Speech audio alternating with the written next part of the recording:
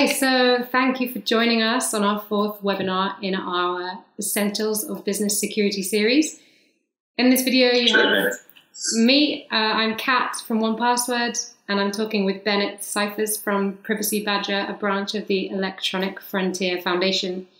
Um, so, hi, Bennett. Hi, uh, thanks so much for having me on. No problem at all. So, we're going to be talking about uh, blocking extensions today and what businesses can do to safeguard data. So, just to get us started, can you introduce yourself a bit and tell us about Privacy Badger for those that might not know? Uh, sure, yeah. Uh, my name is Bennett Cyphers. I've been at the Electronic Frontier Foundation for uh, about a year and a half now, and most of that time I've been working on Privacy Badger, which is a browser extension for Firefox and Chrome, um, and it's a tracker blocking extension. So the way it works is that it has ways of identifying um, behavior by third-party trackers on the web. Um, these are usually invisible uh, pieces of code that collect data and send it to third parties for the purposes of building behavioral profiles most of the time. So Privacy Badger can identify and then block those trackers uh, as you browse the web. Ah, interesting. Yeah, that was going to be my next question: how how it actually works. So how how does it differ from other blocking extensions? So I've seen that uh, there's a couple of others out there that are doing something similar, but how's Privacy Badger different? So as far as I know, Privacy Badger is relatively unique in that it learns as you use it. Um, so it's what we call a heuristic blocker rather than a list-based blocker. Um, most blocking extensions, uh, that's AdBlock Plus or Ghostery or uBlock Origin, um, have a big list of URLs or domains um, that someone has put together by hand. Someone has gone through and said, or several people have gone through and said, okay, we know all of these different um, URLs are used for tracking. And so every time we see a request to one of those URLs, we're going to block it. Um, what Privacy Badger does is after you install it, it just observes all of the traffic that's leaving your browser and it says, okay, this URL looks like it's tracking you. This URL also looks like it's tracking you. And um, when it observes the same domain, the same like third party tracking you in three or more different places, it decides, okay, this is a um, significantly common third party tracker, so we're going to block it from here on out. Um, so it the advantage of that is that we as the electronic frontier foundation don't have to maintain this big list and worry about human error worry about our decisions being right or wrong on any individual domain. We don't have to worry about new domains or new trackers cropping up that we don't know about because as soon as a new tracker appears in the wild um, everyone who uses privacy badger should be able their their extension should be able to identify and block it automatically. Huh, that's pretty neat. Um, so you talked about third-party trackers. What mm-hmm. actually what actually are third-party trackers for for someone who doesn't work in the privacy, security, or or even um, online sector? Third-party trackers are um, they're companies, businesses, um, actors, I guess, on the web that kind of collect information about you without you knowing about it. Um, some of the biggest ones, the biggest ones are the biggest ad companies. So Google and Facebook are probably the two biggest third party trackers on the web. Um, so uh, most people are probably aware that when you use Google search or when you're logged into Facebook on Facebook or Instagram, um, those companies are collecting data about you as you use their service. But what you might not know is that um, as you're browsing the rest of the web, if you're on uh, theguardian.com or espn.com or some other website that has nothing to do with Google or Facebook, there's most likely an invisible pixel um, or some other kind of like uh, surreptitious tracking code from Google or Facebook that's embedded onto that page that you wouldn't notice as a regular user that is collecting data about your visit to that page and linking it back to your account um, or a profile for you that these third party companies have.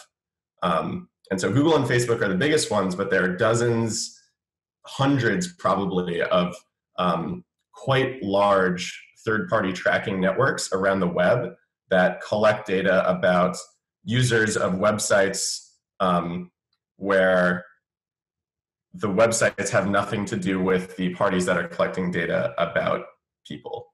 Does that make sense? Yeah, I think that's a, that's a really good description. Okay. It's a bit scary, really, when you when you think about it. These sort of huge companies and their profiling of us. It is quite extensive. So, what would your advice be? What what can we do about them? Um, about third parties? Yeah, I mean, the first thing is installing browser extensions that block these trackers and stopping it at kind of a technical level. Um, another thing you can do is just, uh, so I mean, that's what that's what Privacy Badger is for. So install Privacy Badger; it'll stop the vast majority of this kind of tracking. Um, another thing that unfortunately happens sometimes uh, is publishers. So these these trackers are usually tied to advertisements, um, and so if you go to certain websites like um, I think the Washington Post is one of them, the Atlantic is one of them. If you visit a website and you're using a tracker blocker that is programmed to block um, tracking behavior, uh, it will also block code and requests that are used for advertising, and um, websites will have ad blocker blockers installed that try and identify when someone is using some kind of blocker, and they won't let you access the content unless you agree to be tracked. Um, and we think this is a real problem because it's entirely possible to serve ads online without tracking people. And um, what we're trying to do is convince as many publications as possible that they don't need to subject their readers to tracking by these third parties in order to make ad money.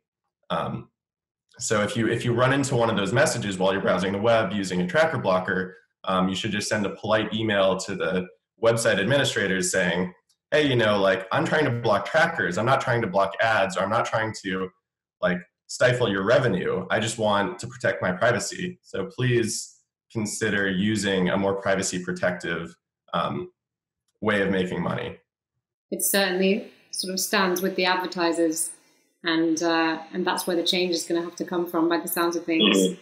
But um, I mean, what what else do you think would need to change for advertisers to to start doing the right thing? Do you think it, if people if people kind of ask them for it, that would be enough? Um, I think I think popular awareness is probably the first step towards a lot of different things, but I think in the end, some kind of strong laws that really protect people's privacy by default. I think GDPR is probably a step in the right direction. I'm not. I think there are some problems with GDPR as well, but it's generally uh, pushing the law towards a place where um, it's not okay for companies to just collect information about people without them knowing and use it however they want. Um, and I think we're we still kind of yet to see how GDPR can actually be applied to these these trackers. Um, there there are some there's some good work by uh, some folks at Brave. Brave is a browser that tries to like protect privacy by default, and um, they've filed complaints uh, with um, a couple da- data protection agencies against the International Advertising Bureau or Board, I think, which is the standards body that uh, kind of dictates how all these trackers actually work. Um, and it's an organization that most people have never heard of because most people never interact with it, um, or not that they know of. So there's some, there's, I think there's going to be a, a, a, legal component to it as well. Um, but really, it's the kind of thing where if you just shine sunlight on it, it it sort of has to dissolve because it only works at such a large scale because the vast majority of people who are using the web have no idea that it's happening. That's the scary thing, isn't it? I mean, mm-hmm. certainly when you talk about um, bigger companies like Brave, for example, getting involved, and they've obviously got a bigger voice there. What would you suggest that we can do as individuals to get our message heard to corporations that we want our data to be protected or to be used differently? Hmm. Um, I mean, the easiest thing is to make privacy positive choices in your own life. For example, um, switching from Chrome to Firefox or to Brave or another browser that sort of gives you better privacy protections by default.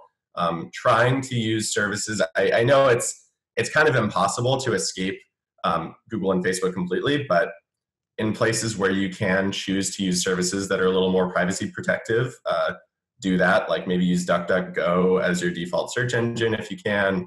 Um, use use a tracker blocker, um, and yeah, and if you if you feel so inclined, just kind of reach out to publishers that you care about and say, hey, maybe you know you don't have to track all the people who read your content. Like I like your site, I want to support you, but I really don't want to um, have to sacrifice my privacy to do so.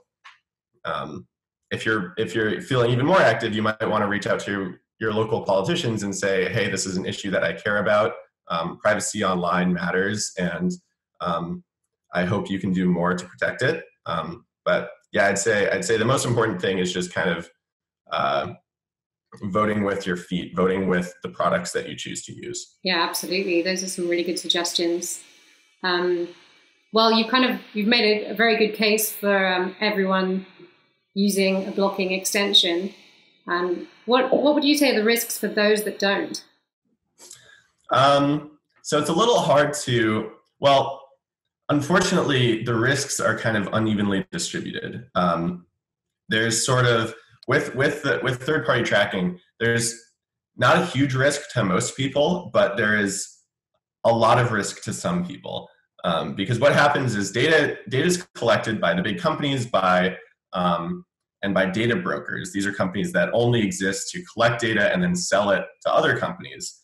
Um, and these data brokers can use browsing activity that they observe to build profiles of people. Um, they can they can assemble kind of like shadow credit reports and be like, oh, this person is likely to have this kind of income and to be this kind of lender.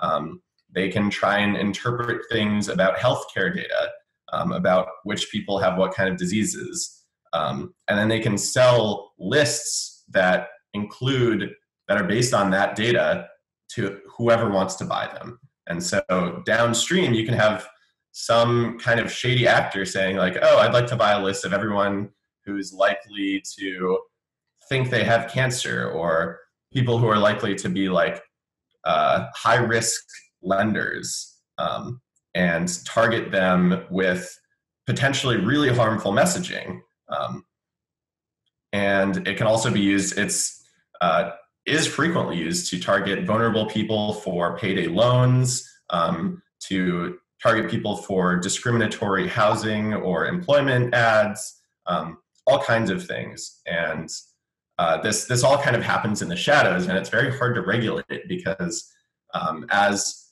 as one of these like kind of shady ad targeters, you can target only a very small group of people who are likely to be susceptible to your message without kind of um, bombarding the wider public or maybe even without making your ads or the messages you're targeting people with available to regulators or the people who would be policing this kind of thing. Um, so yeah, it's there. There the there's the risk of privacy harm. There's the risk of data breach, um, but there's also the risk of just vulnerable people being targeted with uh, deceptive, creepy, um, or manipulative ads. Yeah, I think that you've just put it so well. So thank you for that really good explanation.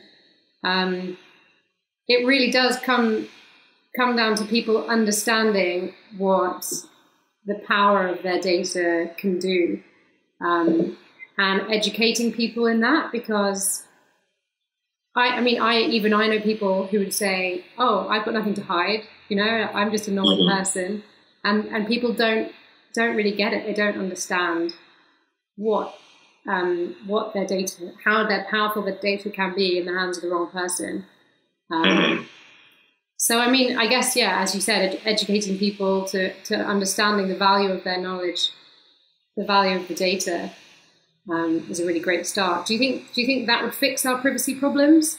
Um, educating people? No, that won't fix it on its own, but it's it's a step in the right direction. I mean, I think both you and I live in in societies where people can um, affect real change. Fortunately, I think, and it, it just takes some momentum. It just takes bring this kind of thing out of the shadows, saying like, all right, let's have a real referendum. Like now that everyone knows what's going on, let's let's talk about how we actually want our society and our internet to look.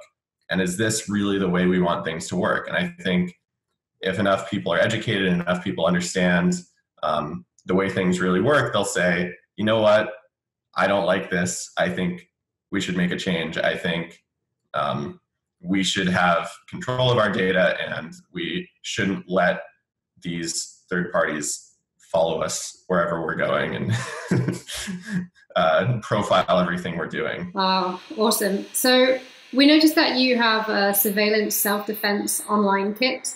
Mm-hmm. Um, so aside from using the Privacy Badger extension, is there anything else that you recommend to individuals or businesses to help safeguard their data?